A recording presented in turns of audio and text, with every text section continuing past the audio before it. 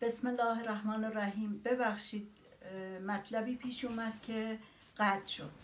ما بقی رو خدمتتون ارز کنم که آخوندا ملت ایران رو این چنین به آلودگی شرک و کفر به خداوند وادار کردن که حکومت حق حضرت علی بوده و یا حکومت حق حضرت علی بوده نه حق این سه تا خلیفه. که یعنی ابوبکر و عمر و عثمان. و ابتدای نابودی برای ایرانی ها که میگن که نعوذن بالله خداوند نمی‌دونه ما می‌دونیم. در صورتی که در جای قرآن میفرمایند ملتی که از قانون خداوند پیروی نکند محکوم به فناست. ملتی که بودهایشان را قبول می‌کنند اما قوانین خدا را قبول ندارند محکوم به فناست. پنج هزار و صد و یازده آیه میفرمان که به غیر از خداوند رو نخوان که محکوم به فقر ذلت و فنا میشید. اینها رو آخوندا همه می‌دونن و هر کس این طرح از 600 سال پیش پیاده کرد در ایران برای اینکه می‌دونستن ملت ایران مردمی باهوش با ذکاوت و با همت تو همه چیز. انقدری که ما افراد دانشمند داریم کشورهای دیگه ندارن. چطور شد که یه اتوبوس رو به کشتن دادن؟ همه رو کشتن. برای اینکه ملت ایران رشد نداشته باشن. و ما بقیه حالا خدمتون میگم. قانونی را که از بشر می‌دانستن هر کس که این حزب کثیف رو درست کرد که اگر دروغ بگویی محکوم به پوچی می‌شوی. آخونده آمدن چیکار کردن؟ دروغ را خیلی گناه کوچیکی دانستن. مشروبات الکلی و چادر و غیبت این ستا خیلی بزرگ جلوه دادن. در صورت که شما می‌بینید مشروب رو توی کتاب قرآن خدا میفرماد که خواستی می‌خوری نخواستی نخوری. پیامبر فقط یه کسی است که داره به شماها تذکر میده. مشروب دو ضرر داره دو تا نفت داره. حالا هرچی. و این داستان ها رو درست کردن.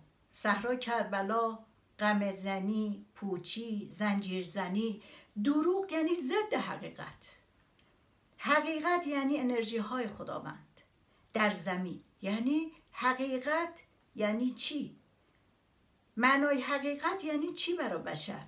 یعنی وجدان کاری داشتن. هر کاری رو که انجام می‌دهی مساوی با پول باشه. یعنی پولی که پرداخت میشه بر همون مبنا هم شما جنس یا اون تولیدات رو بدی به شخص. در هر زمینه ای اگر پولی مثلا به یه معلمی میدن تا همون حد هم ایشون انرژی بذاره از خودش که همه میدوزن تو ایران. از ساعات کاریشون میدوزن از علومشون میدوزن از تولیداتشون میدوزن از ساختمانسازیشون میدوزن. یعنی همه این کارا رو انجام میدن. هیچ کس هم بد نمی‌دونه زرنگی می‌دونن. و نمی‌دونن که این چه باطلاقه که چجور داره می‌کشه پایین همه رو. دروغ و موج پوچی فقر می آورد یعنی عدم اتصال به انرژی خداوند و کائناتش. چون خداوند به وسیله کائناتش سرویس دهی می دهد حس شک سوء زن از موج پوچی هست. در قلب در قلب درون ما دچار ترس ترس از همه چیز. عدم امنیت. این حرف و زد. آیا کاری انجام میده؟ مثلا یکی به ما وصل میشه. میگیم این حرف و زد این کار انجام میده؟ یا چرا این کار انجام میده؟ می‌خوام من سو استفاده کنه. چرا این آنطور وقتی که دنیای ذهنی ما شک و سوء زن باشه نمی‌تونیم یه شخص با استقامت باشیم؟ نه می‌تونیم راه صحیح رو پیدا کنیم. نه قدرت اجرایی داریم. نه حس امنیت داریم. به افراد چون همه با نقاب هستن همه پوشوندن صورتاشونو همین که می‌بینن ایرانی ها همه سر هم کلا می‌ذارن. چرا؟ چون دروغگو هستن. یعنی دروغ منشأ تمام فساد هاست غیر حقیقت منشأ همه فساد هاست وقتی دروغ باشه در ازدواجات در ازدواج ها دروغ در معاملات دروغ در تحصیلات دروغ در سرویس ها دروغ در ساخت و ساز دروغ. همه از دروغ به غیر از خداوند را خواندنه. چرا؟ چون ما با افکار گفتار کردارمان این موج پوچی رو جذب می‌کنیم. همین صحرای کربلا دروغه. گریه برای امام حسین دروغه روزه ها دروغه گریه کردن گریه کن که امام حسین شفاعتت رو بکنه. آخه امام حسین چه نیازی به عشق ما داره؟ امام حسینی که داره توی بهشت هست چه نیازی داره؟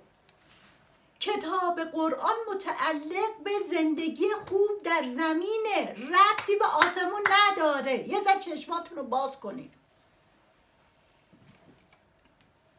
مرحله دوم. فرمودن ایرانی ها رو از خدا جدا کردن. مثل مکه را که منبع تجلی آرزوهاست. عبادت در آنجا چون خداوند در قرآن میفرمایند که ما بیت الله الحرام را برای سامان بخشیدن به امور بندگان قرار دادیم. چرا خداوند بشر خلق کرده و به خلقت او آگاه و به نیازهای او آگاه. وقتی یک مکان با یک صوت وقتی یک مکان با یک صوت به او وصل شوید در یک مکان با یک صوت. یعنی صوت عربی حالا صوت فرانسه. صوت یا تفاوتی نمی‌کنه. با یک صوت.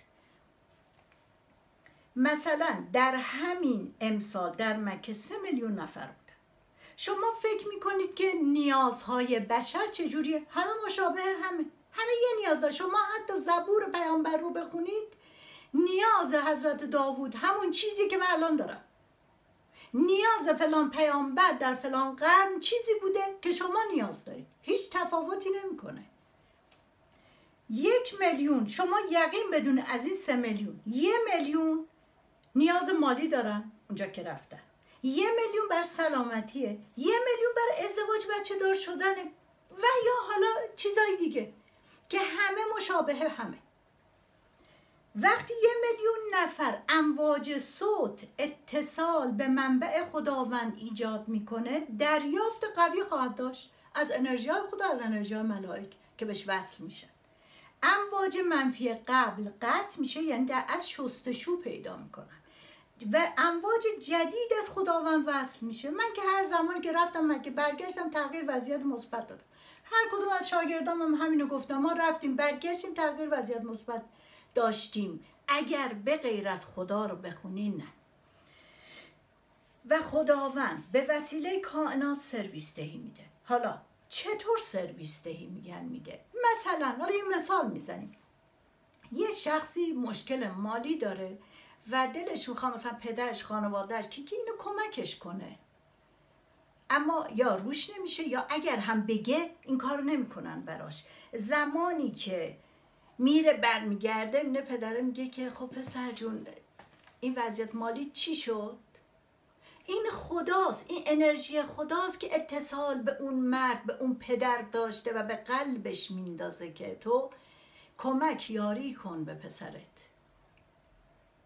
اینا همه سرویستهی خداوند به وسیله کائناتشه.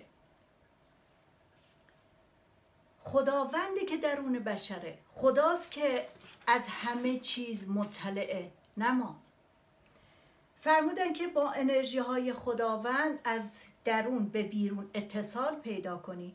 همه نوع سرویس دهی به تو خواهند داد. می‌گویند عالم شهود.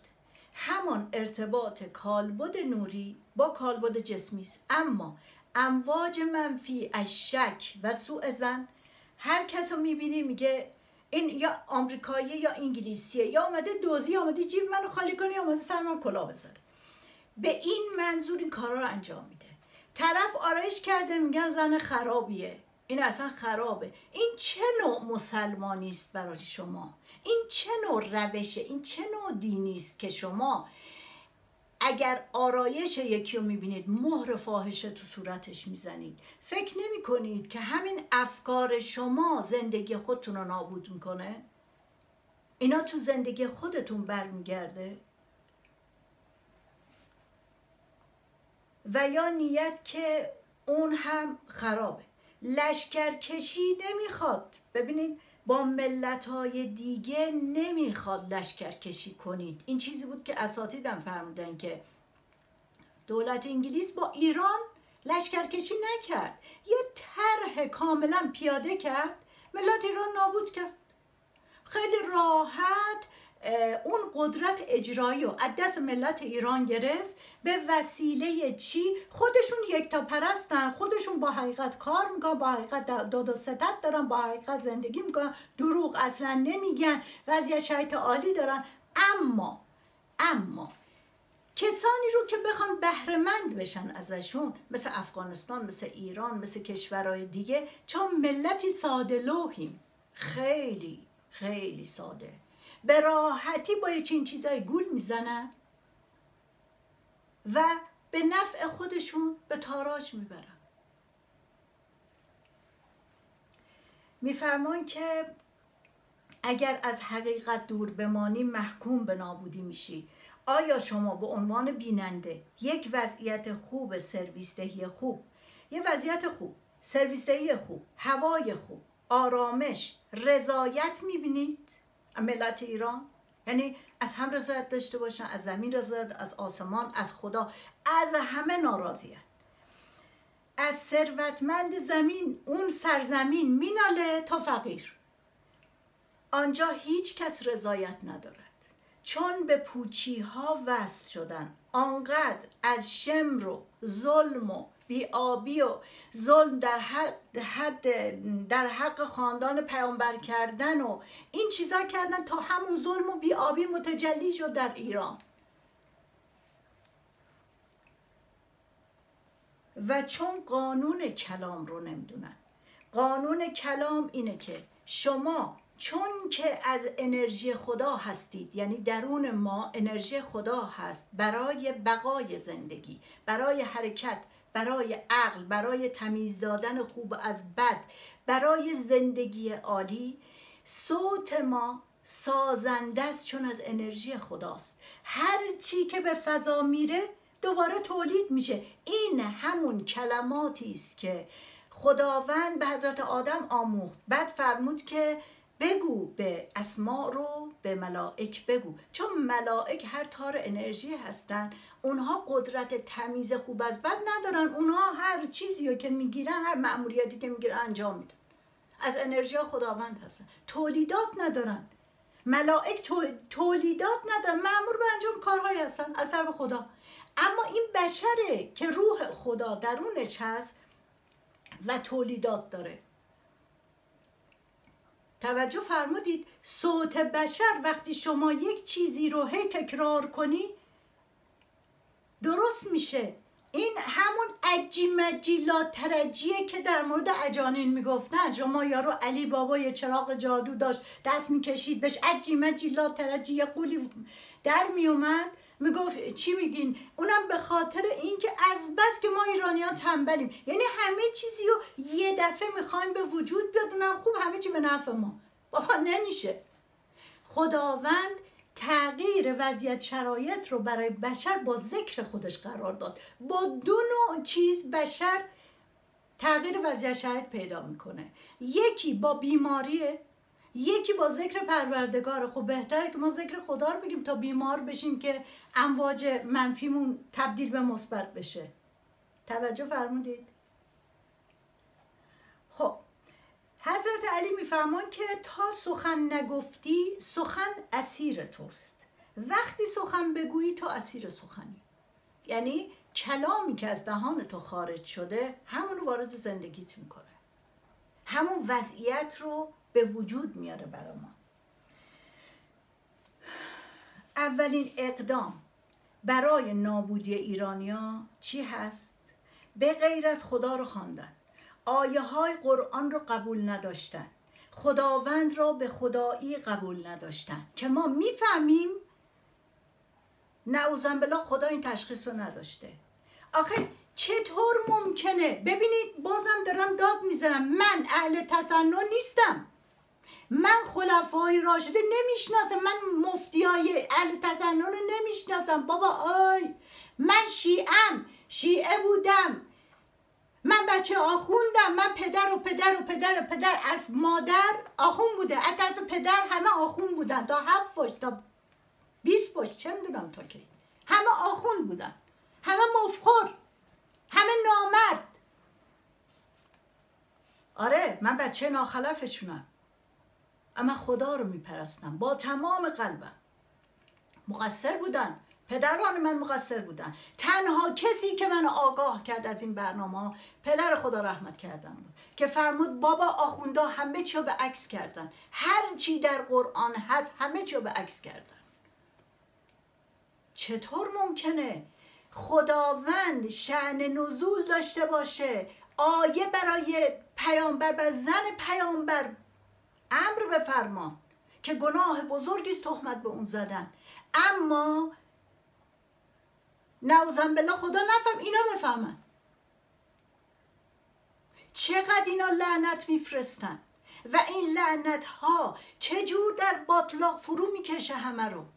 چون آدم ها با هم در ارتباطن. من چه می‌دونم کی منفیه که مثبته کی انرژی منفی داره و میگه اون حالت هایی که بهم دست بدن که وای وای سردرد گرفتم کنار این آدم قرار گرفتم. یا این آدم حرف می‌زنه من حالم خوب میشه. این آدم حرف می‌زنه من حالم بد میشه. اما نمی‌دونم چی میگه.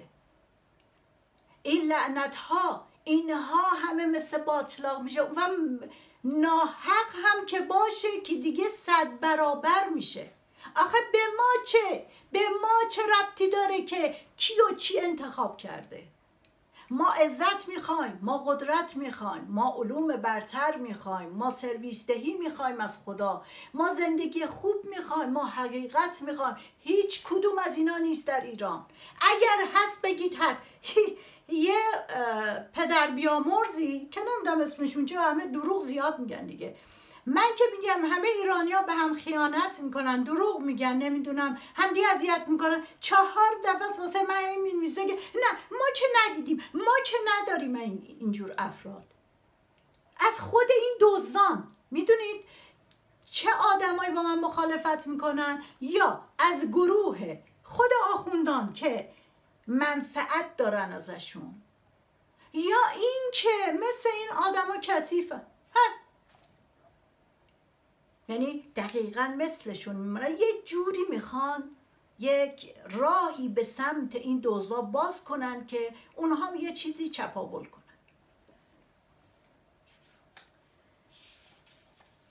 1400 سال پیامبر به پیامبری رسیده و هجرت کرده و همه چیز تموم شده 800 سال هم گذشته. 600 سال هم هست که ملت ایران به نابودی کشوندن.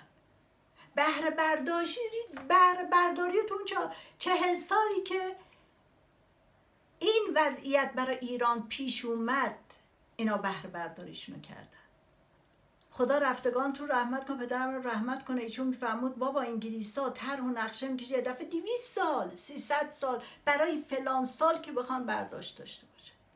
هر هر کشوری ملتش باید به نفع خودش کار کنه. ما نمی‌تونیم بگیم انگلیس بده آمریکا بده این بده اون بده. و ما خودمون بدیم. ما تا بدی خودمون رو نفهمیم و چاره جویی نکنیم همه به ما مسلطن. همه مسلطن. ای ملت ایران از خواب بیاید بیرون. از خواب کربلا و این مسائل بیاید بیرون. سرتون رو کلا گذاشتن تا پاچه. اینا دارن می‌خورن دارن می‌برن. فقرشو بی هواییشو ناآرامیشو بیماریشو فلاکتش مال ماها شد شما ببینید آخوندا ملت ایران با چیا هم طیف کردن؟ یکی دروغ که گفتم پوچیه. مکه میرن میگن که برید پشت قبرستان بقی. حواله میدن به چهار تا امام که زندگیشون رو کردن رفتن. در حد خودشون زندگی داشتن. همته و هم انرژی اونا بشن خب؟ موج مرده رو وقتی بشر دریافت کنه موج مرده چیزی نداره که. موج مرده مرگ داره. فقر نابودی بیماری. بعد میگم ما رفتیم مگه وای وای قربون امام رضا خودمون بریم. اینو میگن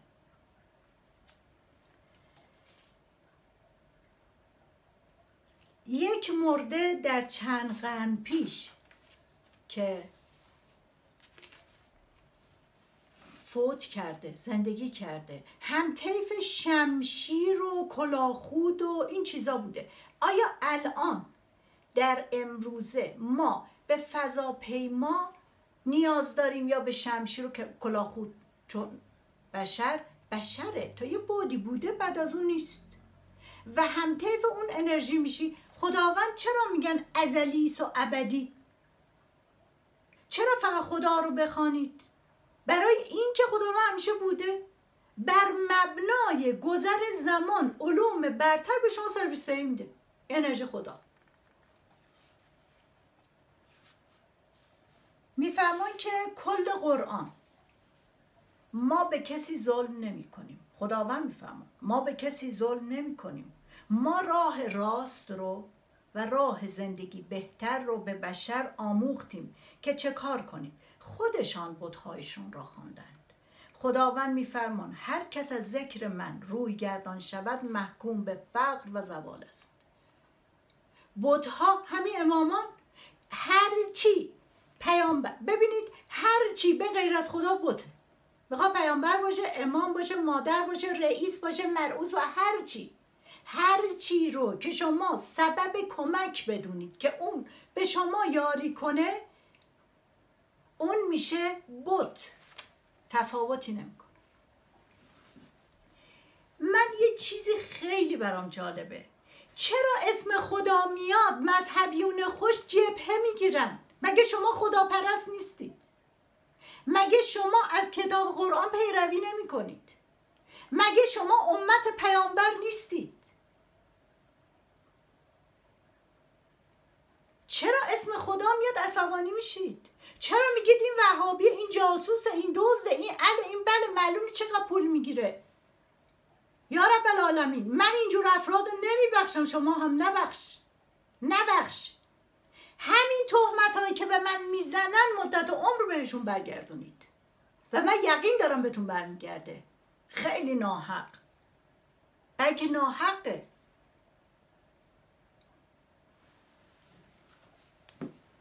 من نیاز ندارم که کشورهای دیگه پولی بهم هم بدن.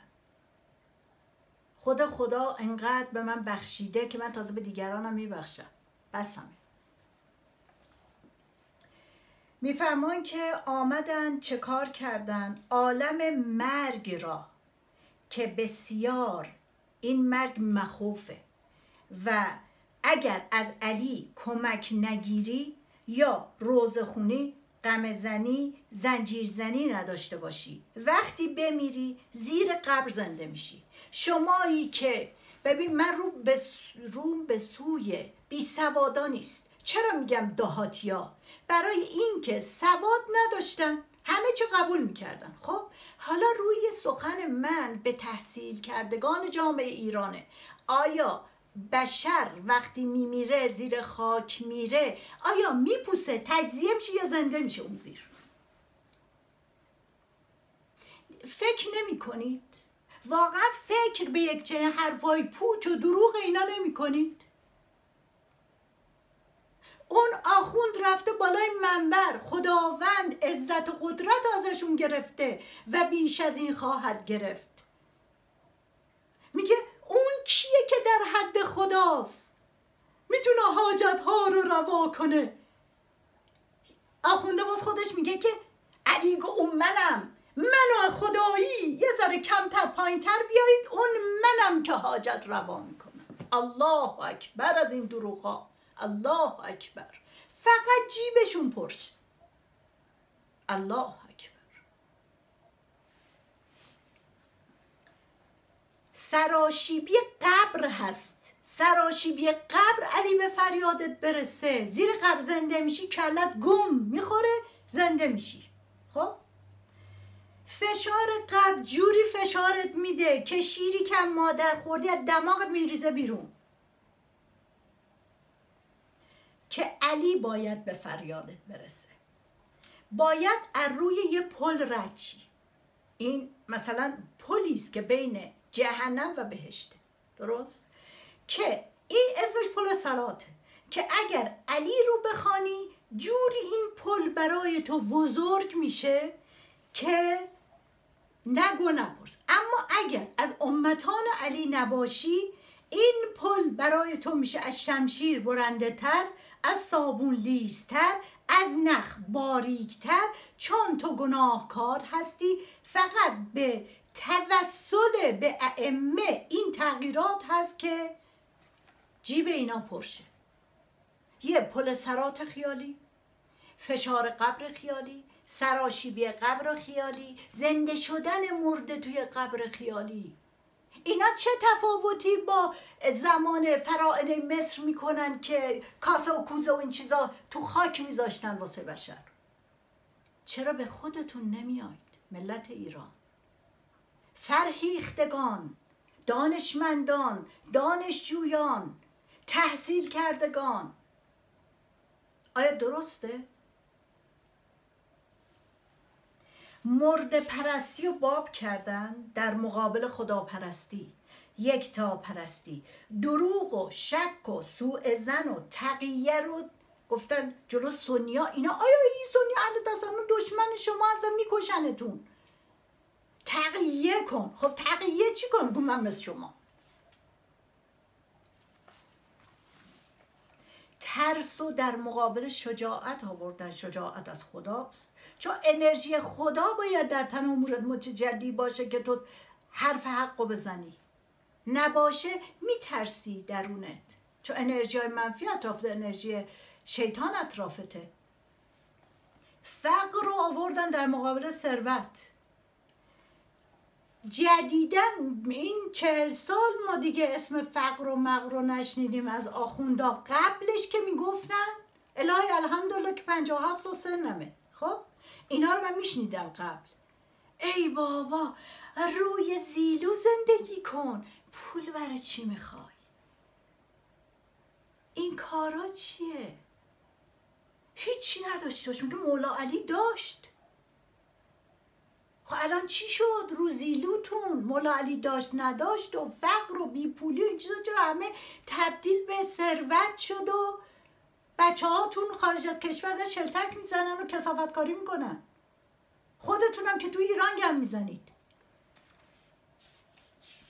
ناآرامی و گریه رو آوردن در مقابل آرامش. رنگای مرده. ببینید ما هنوز درس رنگا رو ندادم خدمتتون. رنگ ها چون از خورشید هست هر وضعیت شرایطی که به وجود میاد یعنی زمین خودش بیرنگه. زمین دریافت از انرژی خورشید می‌کنه و این تغییر رنگ ها به وجود میاد بر مبنای وضعیت شرایط. سیاه مساوی با انرژی های عدم نبود. توسی سیاه سرمه‌ای. هر, هر رنگ تیره. سیاه رو باب کردن. که هر آنچه انرژی جادو شک سوء زن فقر بیماری هر چه جذبی لباس میشه.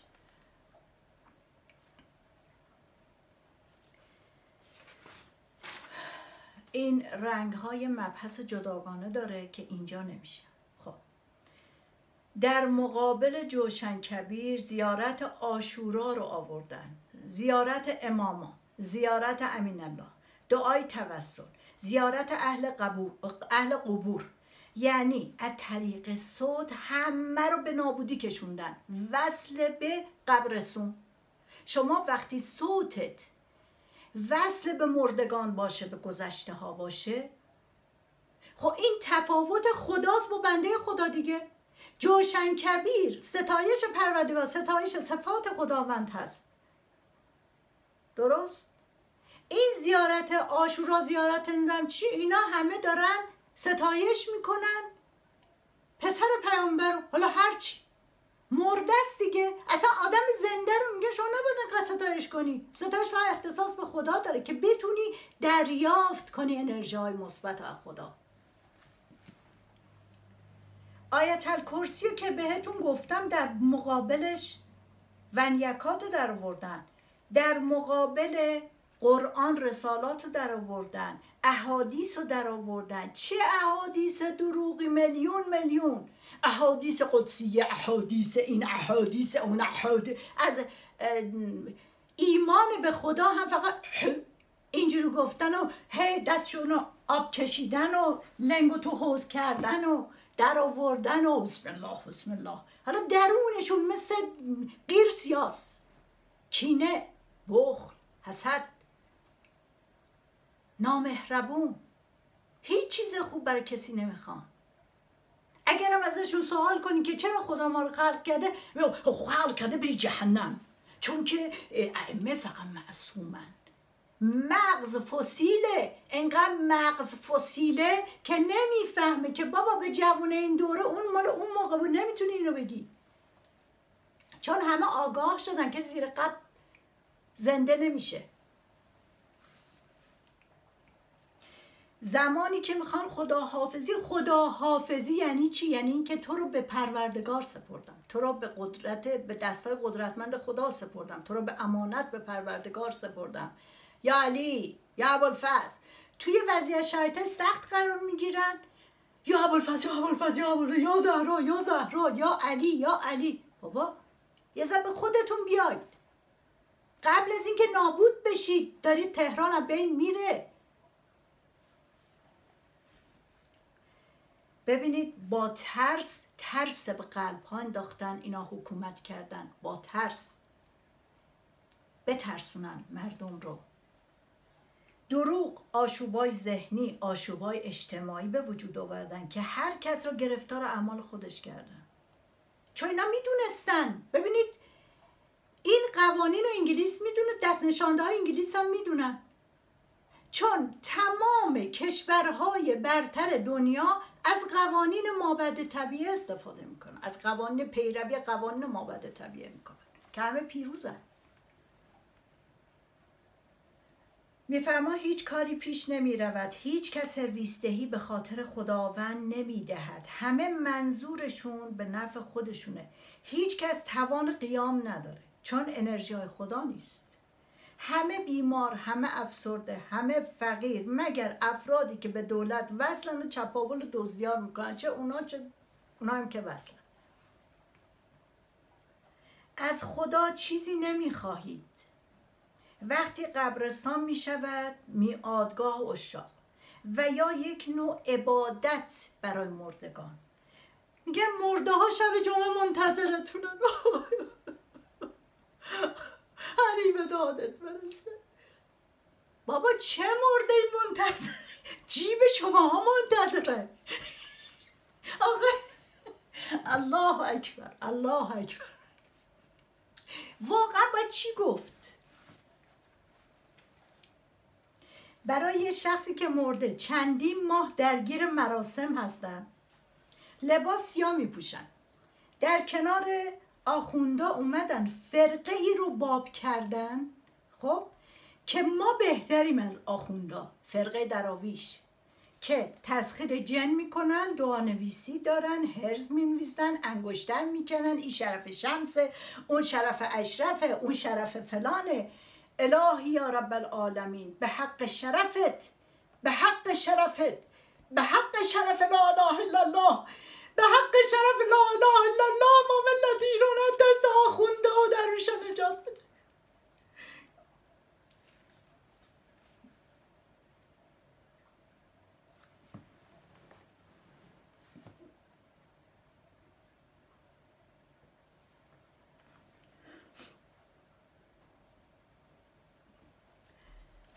و گروه های دیگه به وجود اومدن اطراف همین فرقه فرقه های درویشان. که همه شرک به خدا. یه عده اومدن گفتن که ما, بهتر، ما قوانینمون بهتره. ما کارامون بهتره. شماها بلد نیستید. همینجور شاخه به شاخه انگلیس درست کرد و گذاشت بر نابودی ایران. که به راحتی چپاول کنن. به اونا ربطی نداره. به ما ربط داره. ما چرا باید ساده باشیم؟ ما چرا باید اعتماد کنیم؟ هر کس باید اعمال خودش رو در نظر بگیره. هر کس با مسئولیت کارهای خودش در نظر بگیره. همه میندازن گردن هم دیگه. من نبودم اون بود من نبودم این بود. اگه این این کارو میگه من نمی‌دونم فلان. بابا دست بردارید. مسئولیت کار خودتون رو بپذیرید.